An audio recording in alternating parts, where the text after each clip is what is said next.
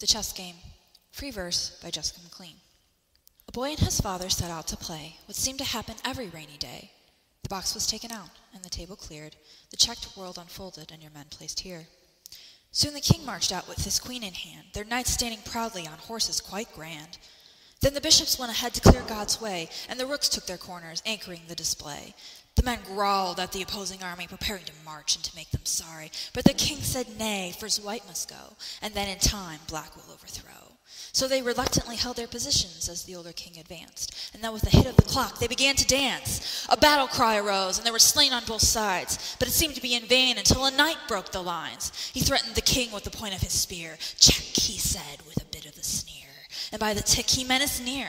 But that mustn't happen, not while she was around. And with a kiss, the queen left her king's crown. With a heart full of love, she moved every way, rallying the troops, getting in harm's way. A few slaps later, she had the upper hand. The older king in refuge, the offense soundly tanned. But a few corners anon, and she was stabbed from behind. The killer, a bishop.